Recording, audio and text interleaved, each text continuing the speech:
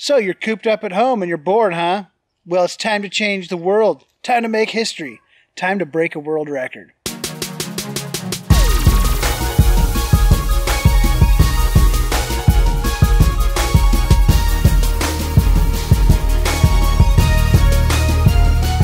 Hi, my name is Joel Strasser, and I hold multiple Guinness World Record titles for putting things in my beard.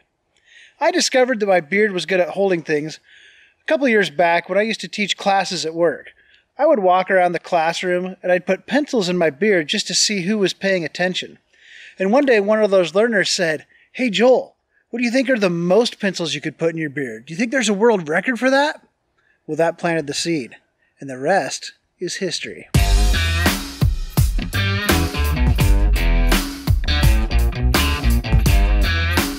Now I'm inviting you to get in on the action. I know that many guys are growing their beards out while they're at home, and to them I say, Welcome to the Bearded Brotherhood. Happy to have you here.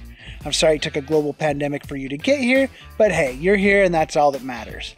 We're going to get through this before you know it, and I invite you to keep your beard once this is all over.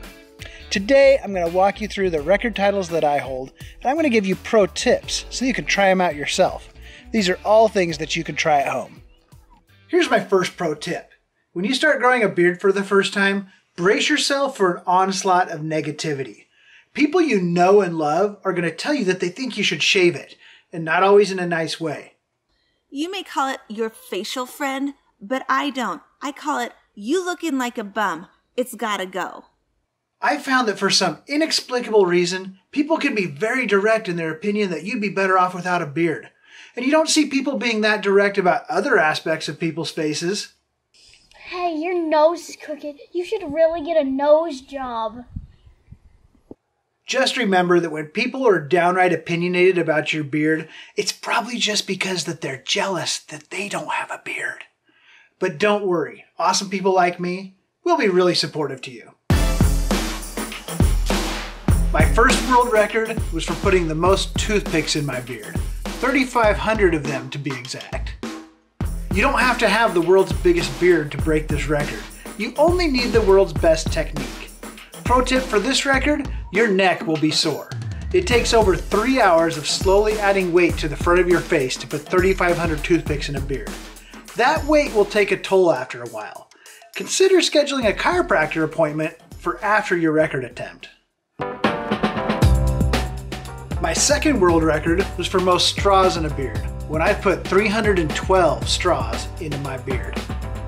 Pro tip, if you throw all the straws away after your attempt, they're going to end up harming an innocent sea creature in the ocean.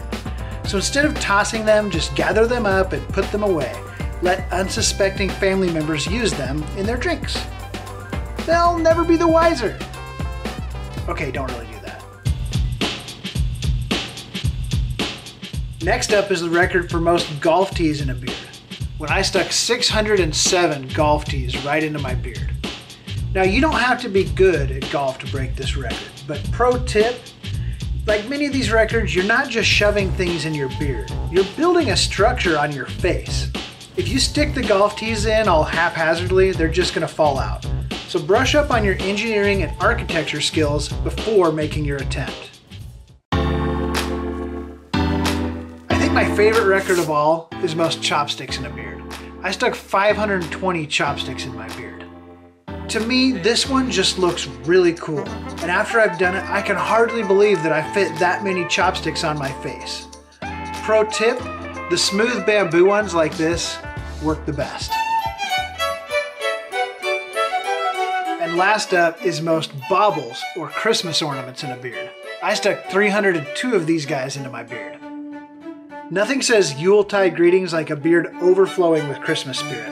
So be sure to snap some pictures for your Christmas card when you've got maximum bobble beard.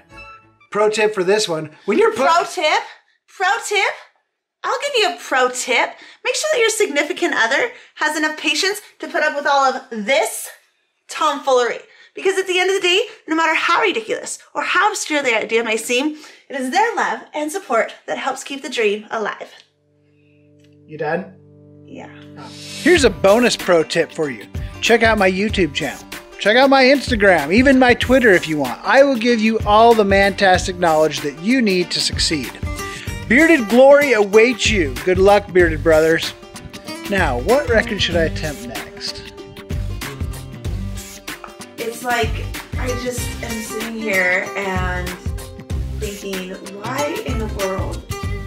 Why in the world does this seem like a good idea? It just is, okay?